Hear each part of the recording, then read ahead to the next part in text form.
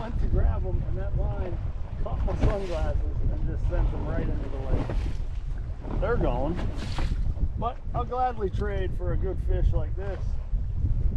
I don't think he's quite four, but he's